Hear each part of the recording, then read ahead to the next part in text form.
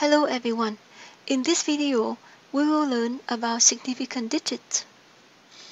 All numbers from 1 to 9 are significant. This leaves us with number 0 to learn whether or not the zeros is significant in certain numbers. So first of all, if the 0 is to hold the decimal in its place, then it is not significant.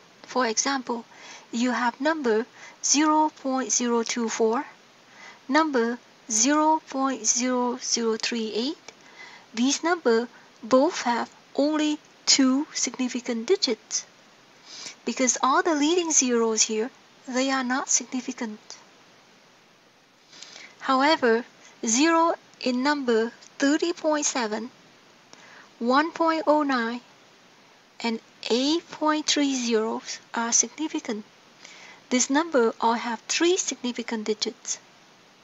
So it's easy to recognize that 30.7 is significant with three significant digits. 1.09 has three significant digits. But what about 8.30?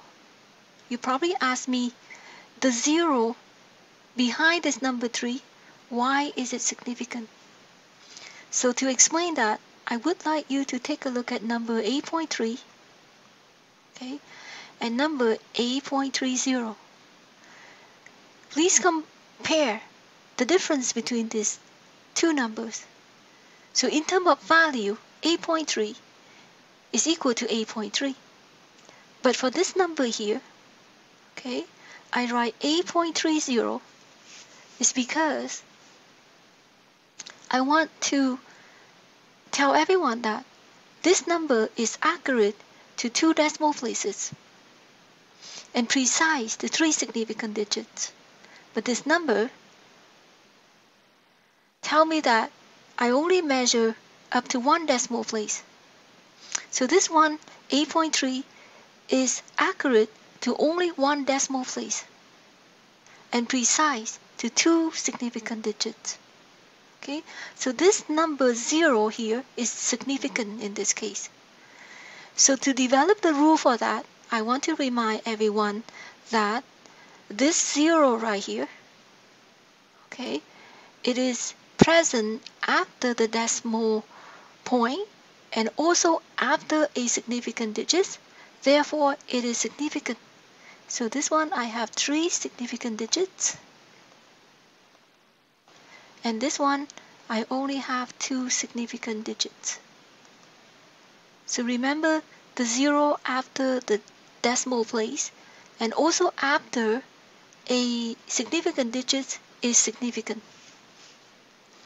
Okay, the next rule we need to talk about is the line above the zero.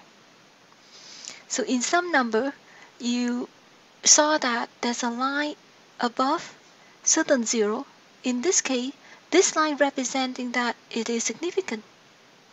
So for number 190, the line above the zero show that I have three significant digits.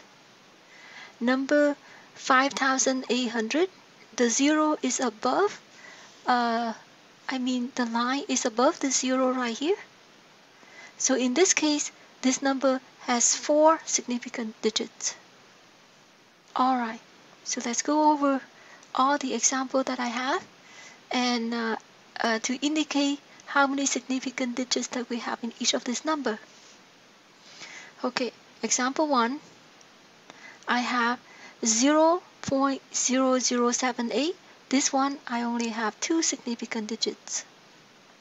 Okay, for number 2, the leading zeros are not significant, but this zero here is significant it's very important without zero. So I have three significant digits in this case. Alright, okay, for number three, I only have two significant digits. For number 30.7, I should have three significant digits. For number 5, I should have four significant digits because the zero in between the significant digits are significant. So I have four significant digits in this case. Number six, I also have four significant digits. number 7, I should have 3 significant digits. For number 8, the line above this 0 tells me that this 0 is significant. Therefore, all the 0 in betweens are significant as well. Therefore, in this case, I should have 5 significant digits. Alright. So compare number 8 with number 9. You see that there isn't any line above any of the 0. So therefore, in this case, I should have just 2 significant digits. Because the last three zero that I have is to hold the number in its place. Alright? So, make sure that you recognize the difference between number 8 and number 9. And there's a line. For number 8, there's a line right here. Therefore, this one has 5 significant digits.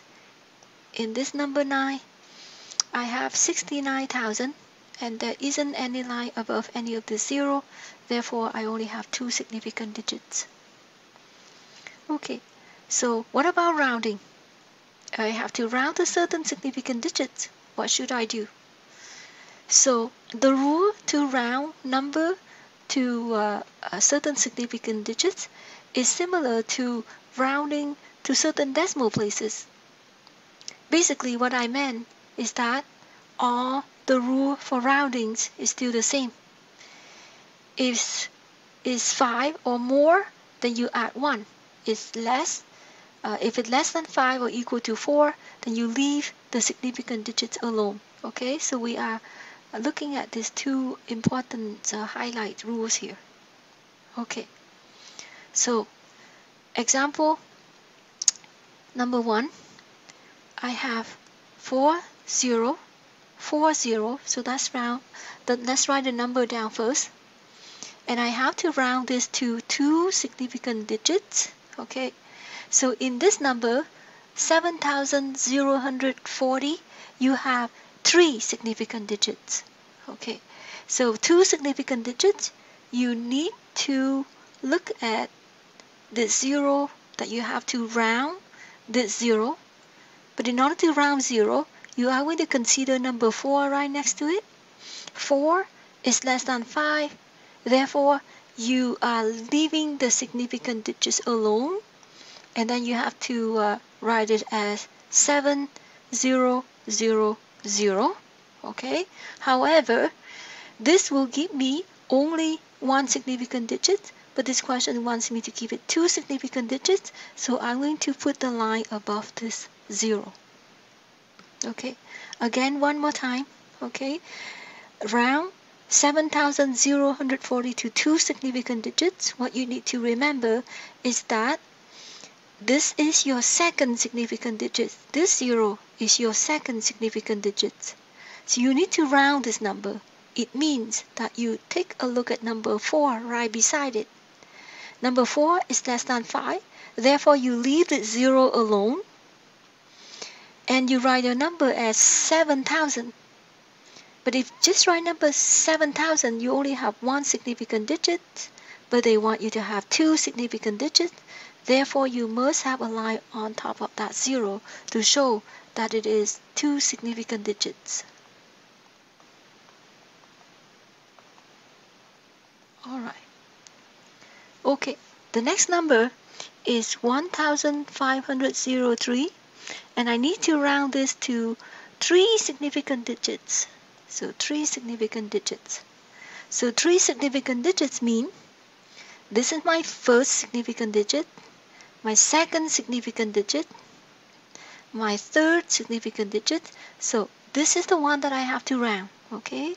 So this zero here is the one that I have to round. That means I look at number three. So number three is less than five. So I leave the 0 alone. So in the end, I should get the answer as 1500. Again, I need to put the line on top of the 0 to indicate that I have uh, three significant digits in this case.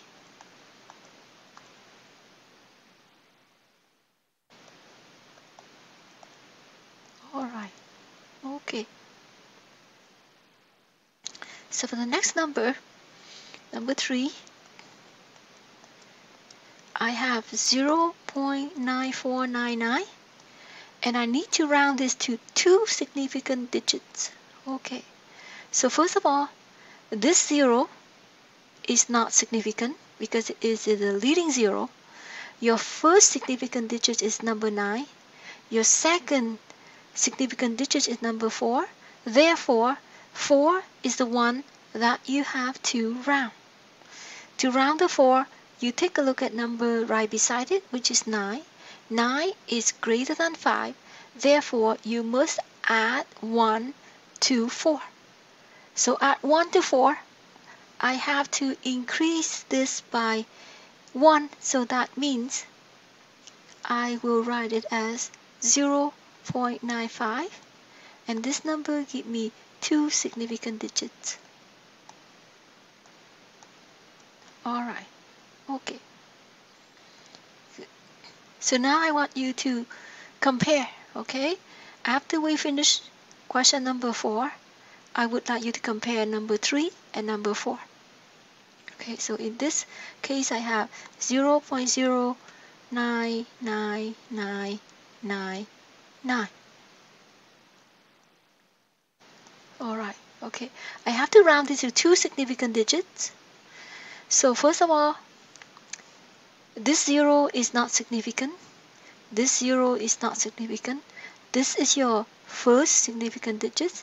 This is your second significant digit. So you have to round this number 9. Okay, rounding this number 9, it means that you take a look at the number right next to it so this 9 is greater than 5. So you have 1 to this 9. So add 1 to this 9.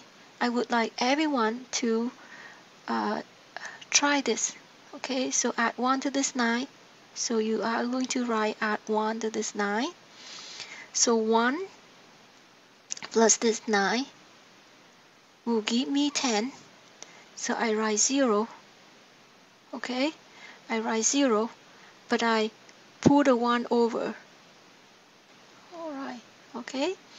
So then what I have next is this turn into 0 0.10 so this actually give me two significant digits so again one more time with example number four so 0 0.099999. So this 9 is the one that you have to round. So you have to take a look at this number 9. This number 9 is greater than 5. So you need to add 1 to this number. So add 1 to that number. So basically what you do is you put 0.09, you add that with 0.01. Okay, so add these two. What you have is 9 plus 1 is 10. So, so you write 0. You bring the 1 over. Now you carry the 1 down and you carry all your decimal. So in this case, you have two significant digits. Alright, thank you.